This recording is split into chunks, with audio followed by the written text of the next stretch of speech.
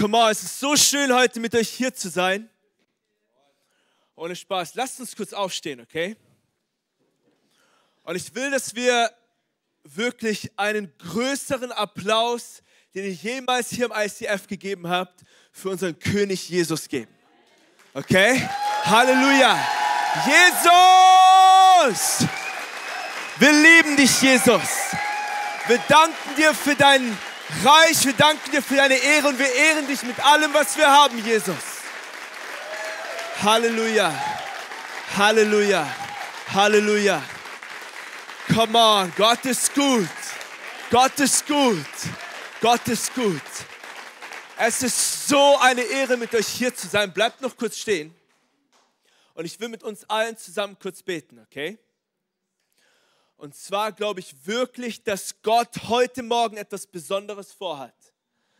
Und wir beten alle zusammen. Ich bete vor und wir alle beten von ganzem Herzen nach, okay?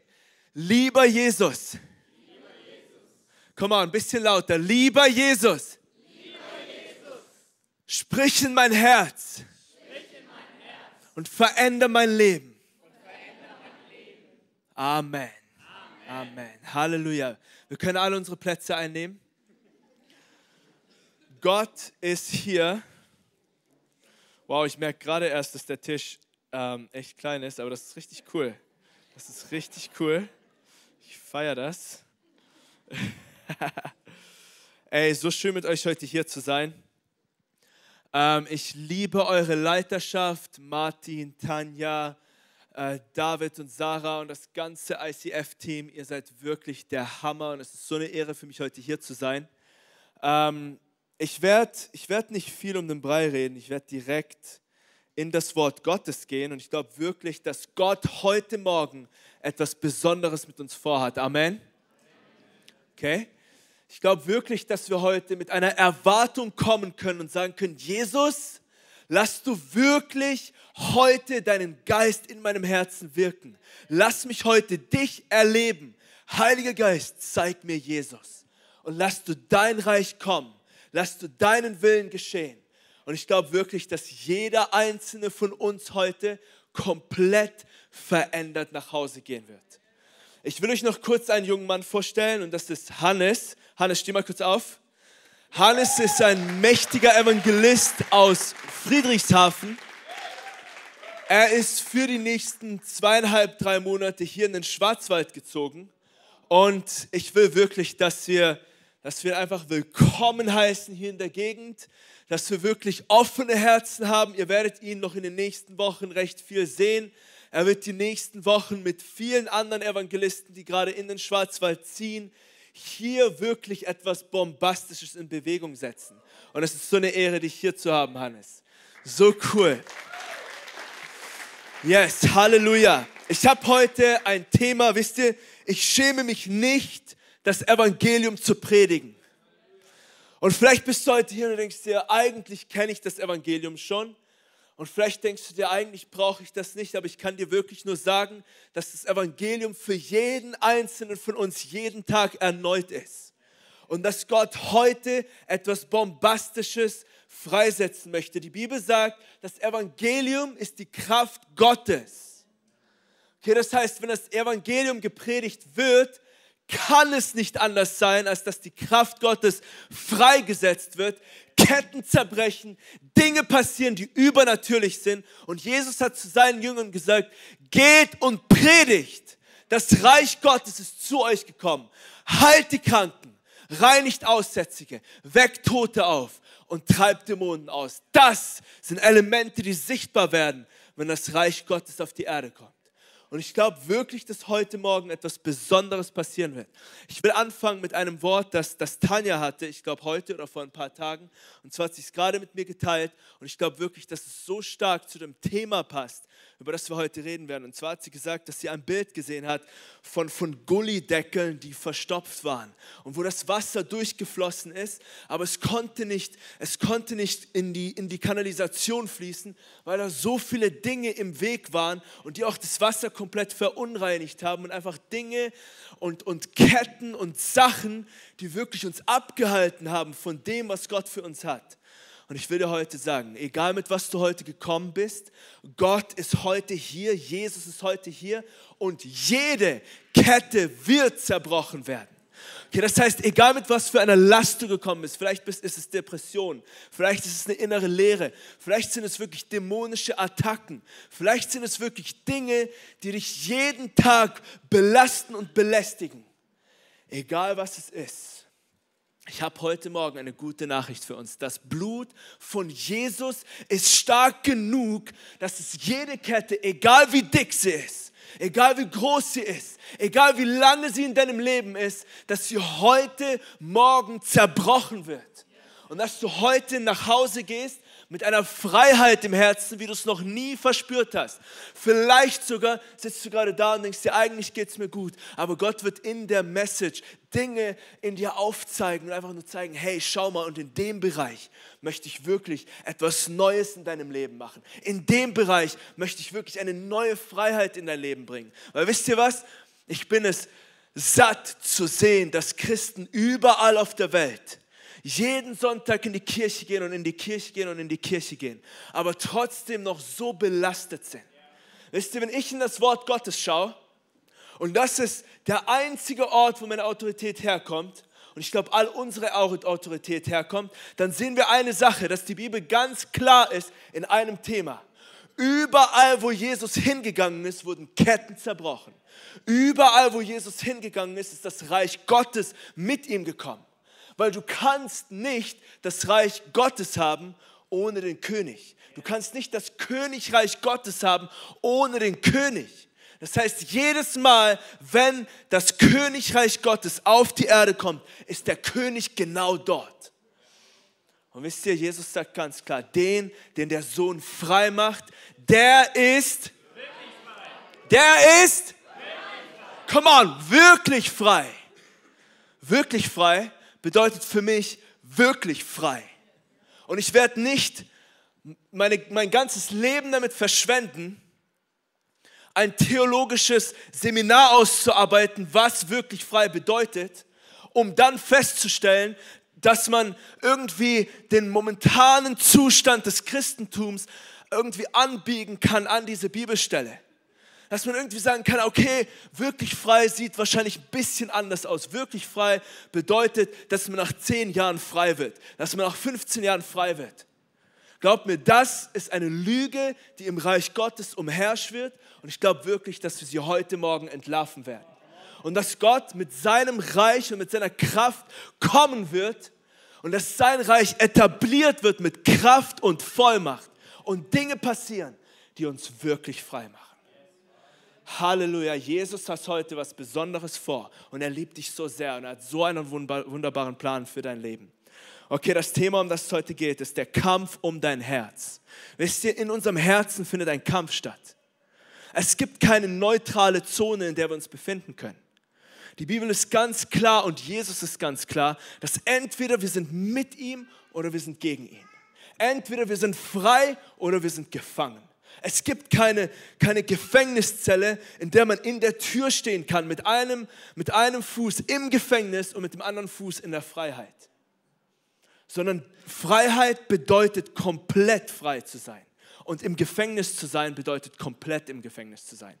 Und ich will mit uns dazu ähm, in eine Geschichte gehen, und zwar ist es in Markus 5 ab Vers 2. Das ist wirklich eine starke Geschichte. Und zwar hat Jesus in dieser Geschichte geht er praktisch über mit dem Boot über den See und er kommt in einer Stadt an. Und auf einmal heißt es in Vers 2, Jesus, äh, Jesus war kaum aus dem Boot gestiegen, als ihm aus den Grabhöhlen ein Mann entgegenlief, der von einem bösen Geist besessen war. Er hauste dort in den Grabhöhlen und niemand war mehr in der Lage, ihn zu bändigen, nicht einmal mit Ketten. Man hatte ihn zwar schon oft an Händen und Füßen gefesselt, doch jedes Mal hatte er die Ketten zerrissen und die Fußfesseln zerrieben. Keiner wurde mehr über, keiner wurde mehr Herr über ihn. Tag und Nacht war er ununterbrochen in den Grabhöhlen oder auf den Bergen und schrie und schlug mit, mit seinen Steinen auf sich. Kaum hatte dieser Mann Jesus von weitem erblickt, kam er herbeigerannt und warf sich vor ihm auf die Knie.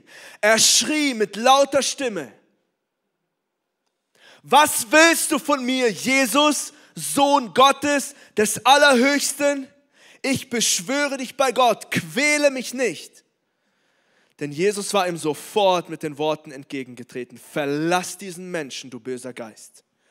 Nun fragte ihn Jesus, wie heißt du? Ich heiße Legion, antwortete er, denn wir sind viele. Und er flehte Jesus an, sich nicht aus der Gegend fortzuschicken. Nicht weit von dort weidete am Berghang eine große Herde Schweine. Lass uns doch in die Schweine fahren, baten die Dämonen. Jesus erlaubte es ihnen. Die bösen Geister verließen den Mann und fuhren in die Schweine. Da stürzte sich die ganze Herde, etwa 2000 Tiere, den Abhang hinunter in den See und ertrank. Die Schweinehirten liefen davon und berichteten alles in der Stadt und in den Dörfern. Die Leute machten sich auf den Weg, um mit eigenen Augen zu sehen, was geschehen war. Als, Jesus, äh, als, als sie zu Jesus kamen, sahen sie den Besessenen bei ihm. Der Mann, in dem die Legion Dämonen gewesen war, saß jetzt da, bekleidet und bei klarem Verstand. Da bekamen sie es mit der Angst zu tun, nachdem sie von den Augenzeugen erfahren hatten, was mit den Besessenen und mit den Schweinen geschehen war. Drängten sie Jesus dazu, ihr Gebiet zu verlassen. Als er ins Boot stieg, bat ihn der, der besessen gewesen war, bei ihm zu bleiben. Aber Jesus erlaubte es ihm nicht. Geh nach Hause zu deinen Angehörigen, sagte er ihnen, und berichte ihnen, was der Herr für dich getan hat und wie er sich über dich erbarmt hat. Da ging der Mann fort und begann im Zehnstädtegebiet zu verkünden, was Jesus für ihn getan hatte und alle staunen. Halleluja, was für eine Geschichte. Und das wird heute meine Hauptgeschichte sein, an der wir uns ein bisschen umherzingeln werden. Und zwar ist hier eine Geschichte, wo Jesus gekommen ist in ein Gebiet und das Gebiet war bekannt, dass Menschen in Grabhöhlen gelebt haben.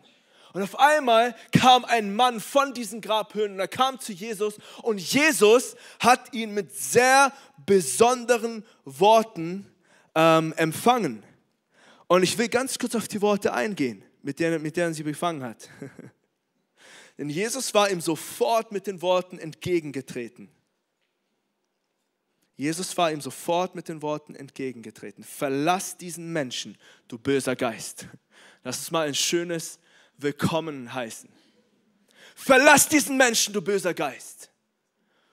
Jesus wusste, was er in sich trägt und er wusste, dass er gekommen ist, um Gefangene freizusetzen.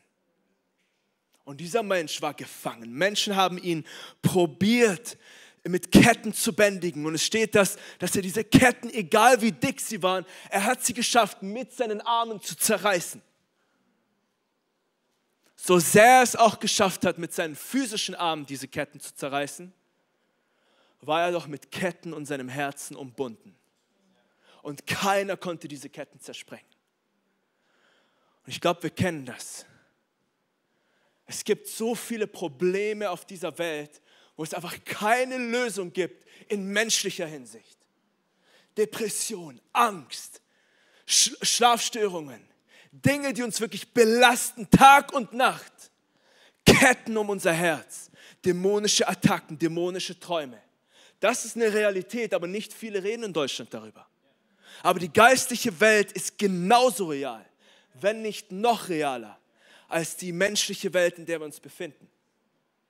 Und wisst ihr, ich glaube wirklich, dass heute Morgen ein Moment der Wahrheit ist, wo die Mächte der Finsternis komplett offenbart und entlarvt werden. Und wir bringen jede Kette ans Licht und sagen, Jesus, wir geben dir die Chance. Komm du mit deiner Kraft und setze uns frei. Egal, was uns belastet, egal, in was wir gefangen sind, sei es Sünden, sei es einfach nur Dinge, die uns zerstören, jeden einzelnen Tag. Ich habe heute eine gute Nachricht für dich. Gott möchte nicht, dass du weiter in diesen Dingen lebst sondern er möchte heute Morgen frei machen, ein für alle Mal, genauso wie diesen Mann. Und zwar haben wir hier gerade gelesen, dieser Mann aus den Grabhöhlen. Jesus kam zu ihm und hat gesagt, verlasse diesen Mann, du böser Geist. Und auf einmal, in einem Moment, Es hat keine zehn Jahre gedauert. In einem Moment ist das Reich Gottes in Vollmacht und Kraft gekommen. Und was ist passiert? Der Mann wurde frei. Und auf einmal sitzt er da und er sitzt neben Jesus in schöner Kleidung, lächelt und grinst. Und die Freude des Herrn hat sein, hat sein Herz erfüllt. Vielleicht denkst du heute hier, Mann, es, es wird bestimmt ein richtig hartes Wort. Es wird vielleicht ein bisschen hart, aber weißt du, das Schöne ist, in dem Moment, wo wir die Ketten und Sünden aus deinem Leben bekommen, danach herrscht Freude. Danach herrscht, Freiheit. Danach bist du wirklich an einem Punkt, wo du sagen kannst, Halleluja, ich bin frei. Und ich kenne Jesus. Und ich habe eine lebendige Beziehung mit ihm. Und alles wird sich verändern von dem Moment an. Wisst ihr, in der Geschichte, was so spannend ist, es war wirklich, wenn man es aus deutscher Sicht sieht, ein sehr anderer Gottesdienst, der da stattgefunden hat. Überlegt euch mal einen Sonntagmorgen Gottesdienst, wo ihr auf einmal einen Livestream zugeschaltet bekommt von einer Schweineherde, die 2000, 2000 Schweine beinhaltet. Und auf einmal kommt der Prediger nach vorne und treibt einen Dämon aus, schickt ihn in die Schweine und ihr seht auf dem Livestream, wie 2000 Schweine einen Abhang herunterstürzen. Das war mal eine andere Art von Gottesdienst. Aber wisst ihr, die Menschen haben gedacht, wow, das ist ein bisschen anders, als wir den Messias erwartet haben. Aber wisst ihr, ich kann uns nur sagen, die Zeit, in die wir eintreten, ist eine besondere Zeit. Und wir werden Dinge sehen, wo viele sagen werden, wow, das ist ein bisschen zu viel für mich. Aber ich will dich heute ermutigen, öffne dein Herz und sei einfach hungrig für alles, was Jesus für dich vorbereitet hat. Weil erst dann, in dem Moment, mit dieser Herzenseinstellung, können wir wirklich alles empfangen, was er für uns hat. Und dann sehen wir in dieser, in dieser wunderbaren Geschichte, dass Jesus Sie haben ihn angefleht, verlass unsere Gegend. Bitte, bitte, bitte, Jesus, wir wollen dich hier nicht. Geh weg. Und Jesus, als ein Gentleman, hat die Gegend verlassen. Und der Mann wurde zu einem Ambassador, zu einem Botschafter von der ganzen Gegend. Und auf einmal ist er in das Zehn-Städte-Gebiet gegangen und hat angefangen zu erzählen. Er wurde zu einem lebendigen Zeugnis von den Ketten, die in seinem Leben zerbrochen wurden. Und wisst ihr, was passiert ist? Die Ketten, die in seinem Leben zerbrochen wurden, wurden auf einmal zu einem, zu einem so starken Zeugnis, dass überall, wo er hingegangen ist, Ketten zerbrochen wurden und der Kampf, der im Herzen der Menschen stattgefunden hat, wurde auf einmal komplett besiegt und Friede und Freude ist auf einmal in das Herz gedrungen. Die Bibel sagt, das Reich Gottes ist Friede, Freude und Gerechtigkeit. Ich glaube, wir leben gerade in einer sehr starken Zeit, wo all diese Elemente benötigt werden wie noch nie zuvor. Wir brauchen eine, neue Ladung von dem Prinz des Friedens in unseren Herzen. Wir brauchen eine neue Ladung von dem Prinz der Gerechtigkeit. Wir brauchen eine neue Ladung von dem Prinz der Freude. Und das Schöne ist, es ist alles in unserem wunderbaren Jesus. Das heißt, all diese Elemente können wir empfangen, indem Jesus in unserem Leben etwas tut und etwas auslöst, was so viel schöner, größer und stärker ist als alles, was wir uns vorstellen können. Ich will in ein Zitat von Charles Spurgeon gehen. Und zwar ist das wirklich ein, ein Zitat, das sehr stark unter die Haut geht. Ich habe es probiert, so gut es geht, zu übersetzen. Deswegen habt ihr ein bisschen ähm, Barmherzigkeit mit mir. Aber ich glaube, wir werden verstehen, um was es geht. Und zwar heißt es, es gibt kein größeres Gespött, als einen Sünder einen freien Menschen zu nennen. Zeige mir einen Sträfling, der in Ketten schuftet und nenne ihn einen freien Mann, wenn du willst. Zeige mir einen Sklaven, der an ein Ruder gekettet ist und unter der Peitsche des Aufsehers leidet. Nenne ihn einen freien Mensch, wenn du willst, aber nenne niemals einen Sünder einen freien Mensch, solange er der Sklave seiner eigenen Verderbtheit ist. In unserem natürlichen Zustand trugen wir Ketten nicht an unseren Gliedern, sondern um unsere Herzen. Fesseln, die uns fesselten und uns von Gott, von Ruhe, von Frieden, von Heiligkeit, von etwas wie Freiheit des Herzens, des Gewissens und des Willens fernhalten. Das Eisen drang die tief in unsere Seele ein. Und es gibt keine schrecklichere Sklaverei als diese, so wie es keine Freiheit gibt, wie die Freiheit des Geistes so gibt es auch keine Sklaverei, die mit der Knechtschaft des Herzens vergleichbar ist. Wisst ihr, wir waren gerade in der Ukraine und so viele haben uns angegriffen, dass wir den Menschen das Evangelium gebracht haben. Vor allem Christen, weil die wahrscheinlich die einzigen sind, die wirklich ein bisschen verstehen, was das bedeutet. Und es war so traurig zu sehen, weil wir geben den Menschen Kleidung, Unterkünfte, Suppen, Getränke, Wasser, aber wir lassen sie an uns vorbeischreiten mit Ketten in ihren Herzen wie viel wichtiger ist es? Und ich sage nicht, dass das eine wichtiger ist wie das andere. Es ist beides wichtig, aber wie wichtig ist es, dass wir wirklich mit der Kraft des Reiches Gottes kommen und Ketten zersprengen, überall, wo wir hingehen. Ich glaube, wir alle kennen unsere Region hier. Und wenn wir darüber nachdenken, dass jeder, der nicht mit Jesus unterwegs ist, Ketten um, seine Herz, um sein Herz hat, leidet unter diesen Dingen, Ehrlich, dann kann ich nicht leise sein und sagen, okay, ich will einfach mein Leben dahin leben und will einfach so weitermachen, wie ich immer weitergemacht habe, sondern ich will das Mandat Gottes an mich nehmen und sagen, Jesus, in deinem Namen, wir werden sehen, wie Ketten zerbrechen, überall, wo wir hingehen. Mein Thema ist heute das Kampf in unserem Herzen. Okay, das Kampf in deinem Herzen. Der Kampf, der, sorry, das Kampf. Der Kampf in deinem Herzen. Und wisst ihr, die Bibel sagt ganz klar, unser Kampf richtet sich nicht gegen Wesen von Fleisch und Blut, sondern gegen die Mächte und Gewalten der Finsternis, die über die Erde herrschen, gegen das Herr der Geister in der unsichtbaren Welt, die hinter allem Bösen stehen. Jesus antwortete, ich sage euch, jeder, der sündigt, ist ein Sklave der Sünde. Ein Sklave gehört nur vorübergehend zur Familie, ein Sohn dagegen für immer. Nur wenn der Sohn euch frei macht, seid ihr Halleluja. Es gibt kein neutrales Territorium. Matthäus 12, Vers 30. Wer nicht mit mir ist, der ist gegen mich. Wer nicht mit mir sammelt, der zerstreut. Wisst ihr, es ist nicht möglich, es ist nicht möglich, mit Jesus zu sein und gleichzeitig auch mit dem Teufel zu sein. Okay, es gibt kein neutrales Territorium. Das ist so die größte Lüge, die in unserer Gesellschaft umhergeht. Das heißt, hey, ich wurde ja getauft, als ich ein Jahr alt war, habe aber nichts mit Gott zu tun. Und das Schöne ist, ich lebe mein Leben mit einem Fuß und mit dem anderen Fuß kann ich immer noch behaupten, dass ich getauft bin, weil es in meinem Pass drin steht, evangelisch oder katholisch. Das ist die größte Lüge, wo Gott wirklich sagt, hey, es gibt kein neutrales Territorium. Entweder ihr sammelt mit mir oder ihr zerstreut gegen mich. Wisst ihr, das Bild kommt von, ähm, von einem Schafhirten und seinen Schafen. Was ein Schafhirte tut, er sammelt. Was ein Löwe tut, er zerstreut. Du bist entweder ein Schaf oder ein, ein Schafhirte oder ein Löwe. Entweder du sammelst oder du zerstreust. Es gibt kein hybrides Tier, das den Kopf eines Schafes hat, aber den Körper eines Löwens. Oder eines Wolfes.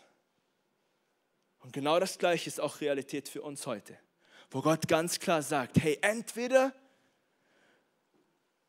wir sammeln mit ihm oder wir verstreuen gegen ihn.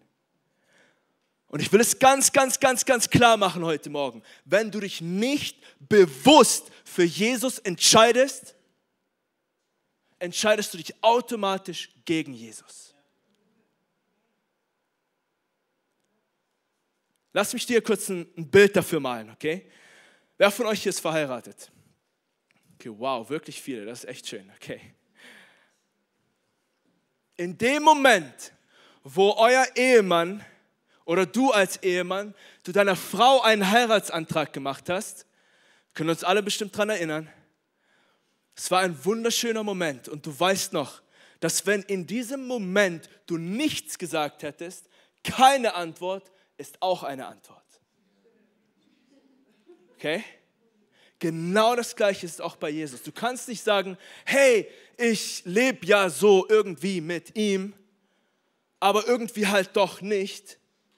So, ich habe mich nie bewusst für ihn entschieden, Aber ich habe mich ja eigentlich auch nicht gegen ihn entschieden. Okay, lass mich dir eine Sache sagen. Wenn du dich nicht entscheidest, entscheidet die Zeit für dich. Und die, äh, die Zeit hat sich schon für dich entschieden.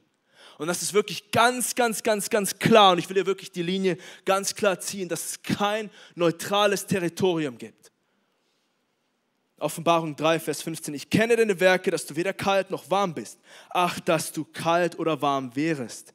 Weil du aber lau bist und weder warm noch kalt, werde ich dich ausspeien aus meinem Mund. Das sind die Worte von Jesus, wo er sagt, hey, ich will dich nicht mit der Welt teilen. Entscheide dich, warm oder kalt. Das, eine oder das andere. Nichts dazwischen geht. Und ich will gleich noch ein Bild dazu malen. Und zwar in äh, 1. Könige 3, Vers 16. Entschuldigung, dass ich das Wort Gottes benutze, während ich das Wort Gottes predige. 1. König 3, Vers 16. Salomos weises Urteil. Okay, ich werde jetzt nicht die, ganzen, die ganze Stelle lesen, aber die Geschichte geht so, dass es zwei Frauen gab, die beide ähm, Prostituierte waren. Es waren beides Huren und die eine Frau sprach, ach mein Herr, ich und diese Frau wohnten in demselben Haus und ich gebar bei ihr im Haus. Und es geschah drei Tage, nachdem ich geboren hatte, gebar sie auch. Und wir waren beieinander und kein Fremder war mit uns im Haus. Nur wir beide waren im Haus. Und der Sohn dieser Frau starb in der Nacht, denn sie hatte ihn im Schlaf erdrückt. Und sie stand mitten in der Nacht auf, nahm meinen Sohn von meiner Seite, als deine Magd schlief, und legte ihn in ihre Arme. Und ihren toten Sohn legte sie in meine Arme. Als ich am Morgen aufstand, um meinen Sohn zu stillen, siehe, da war er tot. Und ich betrachtete ihn am Morgen genau. Und siehe, es war nicht mein Sohn, den ich geboren hatte. Die andere Frau aber sprach, nein, sondern mein Sohn lebt und dein Sohn ist tot. Jene aber sprach, nein, dein Sohn ist tot und mein Sohn lebt. So redeten sie vor dem König. Okay, und jetzt steht König Salomon vor dieser Entscheidung und er sagt, hey, was soll ich tun? Die eine Frau kommt und sagt, dieser eine Sohn, er gehört mir. Die andere Frau kommt und sagt, nein, er gehört mir. Und dann, ich glaube, ein paar von uns kennen die Geschichte, kommt König Salomon und, und spricht und sagt, der Sohn, der lebt, ist, ähm, und der König sprach, dieser spricht, der Sohn, der lebt, ist mein Sohn und dein Sohn ist tot. Jene spricht, nein, dein Sohn ist tot und mein Sohn lebt. Da sprach der König, bringt mir ein Schwert. Und man brachte das Schwert vor den König. Da sprach der König, zerschneidet das Kind am lebendigen Leib in zwei Teile und gebt dieser die eine Hälfte und jener die andere Hälfte. Da sprach die Frau, welche der lebendige Sohn gehörte, zum König, denn ihr Erbarmen über ihren Sohn regte sich in ihr und sagte, bitte mein Herr, gebt ihr das lebendige Kind und tötet es nur nicht. Jener aber sprach, es soll weder dir noch, weder mir noch dir gehören, teilt es. Da antwortete der König und sprach, gebt dieser das lebendige Kind und tötet es ja nicht, sie ist seine Mutter. Was für eine Weisheit. Gott spricht hier und sagt, hey, genau so wie, wie die Mutter, die wirklich die Mutter ist, nicht das Kind in zwei geschnitten haben wollte. Genau so will Gott uns nicht mit der Welt teilen. Er möchte nicht, dass das Schwert uns mit der Welt teilt und dass wir 50 Prozent mit ihr, mit, mit der Welt gehen und 50 Prozent mit Gott gehen. So er sagt, weißt du was? Die Welt nimmt diese Person komplett, anstatt dass sie zerteilt wird. Gott will uns nicht mit der Welt zerteilen. Er will uns von der Welt zerteilen oder von der Welt trennen. Das Schwert ist nicht gekommen, um uns mit der Welt zu, zu zerteilen und mit der Welt uns, uns sag ich mal, in zwei Hälften zu reißen, sondern das Schwert ist gekommen, um uns von der Welt komplett abzutrennen, damit wir frei sind von all den Ketten, die uns noch an dieser Welt halten. Und wisst ihr, es gibt kein neutrales Territorium in unserem Herzen. Es ist ein Kampf in unserem Herzen. Und der Feind will dich nicht loslassen. Die Ketten, die in unserem Herzen sind, er will nicht, dass sie gehen. Und gleichzeitig klopft Gott an unser Herz. Und er sagt, komm zu mir. Aber wenn du zu mir kommst, ich lade dich ein, komm komplett zu mir. Mit allem, was du hast. Als Jesus am Kreuz gestorben ist, hat er uns einen Heiratsantrag gemacht. Er hat gesagt, ich liebe dich, mein Sohn und meine Tochter, so sehr, dass ich dir die freie Entscheidung gebe, ob du mit mir leben willst oder ob du nicht mit mir leben willst. Aber es ist deine freie Entscheidung. Gib mir entweder dein ganzes Herz oder ich lasse dich gehen. Aber Gott wird uns nicht mit der Welt zerteilen. Und ich spüre so sehr, dass der Heilige Geist heute eine klare Linie ziehen möchte und sagen möchte, hey, entscheide dich. Entweder Jesus oder nicht Jesus. Entweder wir geben unser komplettes Leben ihm hin und sagen, Jesus, was immer du für mich möchtest, was immer dein Plan für mein Leben ist, wie auch immer es aussieht, ich möchte dir gehören und ich möchte dir alles geben. Oder wir sagen, okay, ich glaube, ich war hier, aber es war mein letzter Gottesdienst. Ich hoffe das nicht, aber ich will, dass du heute eine klare Entscheidung triffst. Weil diese Entscheidung wird dein Leben komplett verändern. Ich habe mit einem Mann geredet, ein sehr guter Freund von mir. Er hat sich vor ungefähr, ich glaube, 12 oder 13 Jahren bekehrt. Wir haben erst in den letzten Tagen geredet und er sagt, weißt du was, ich war für Jahre, bin ich in die Gemeinde gegangen, jeden Sonntag, jeden Mittwoch und ich saß in den Stühlen, aber ich habe nie die hundertprozentige Entscheidung für Jesus getroffen. Das gibt es. Und ich glaube wirklich, dass das sich ändern wird und ändern muss. Weil es kann nicht sein, dass wir jahrelang in Gottesdienste gehen und trotzdem zwischen zwei Stühlen sitzen. Es kann nicht sein, dass wir in Gottesdienste gehen, aber wie der Teufel leben. Es kann nicht sein, dass in unserem Leben keine Frucht des Geistes hervorkommt, sondern das Einzige, was aus uns rauskommt, ist das Reich des Teufels. Und ich glaube wirklich, dass Gott heute in uns etwas Übernatürliches und Besonderes machen möchte. Video vorbei, Message beendet. Ich hoffe, es hat dir gefallen. Ich hoffe, du wurdest inspiriert. Falls ja, abonniere gerne den Kanal, gib uns einen Like, Daumen nach oben, aktiviere die Glocke, sodass du keinen Content mehr verpasst. Hey, du siehst auf dieser Seite eine Auflistung von all unseren Locations, an denen wir dich so gerne auch mal physisch begrüßen würden. Du hast auf dieser Seite eine Möglichkeit, uns mit deinen Finanzen zu unterstützen, via PayPal QR-Code oder via andere Zahlungsmethoden, die findest du unten in der Videobeschreibung. Falls du heute dein Leben Jesus gegeben hast, dann haben wir wirklich Grund zur Freude und Grund zum Jubeln. Lass uns das gerne mitteilen. Nutze hierfür einfach das Kontaktformular und dich so gerne kennenlernen. Und auch wenn du schon lange mit Jesus unterwegs bist, möchten wir gerne von dir hören, was Jesus so in deinem Leben wirkt. Nutze dafür in der Videobeschreibung den Button Praise Report und lass uns von, voneinander hören. Hey, ich freue mich auf dich, dich kennenzulernen und was Gott so in deinem Leben noch so vorhat. Bis bald. Ciao.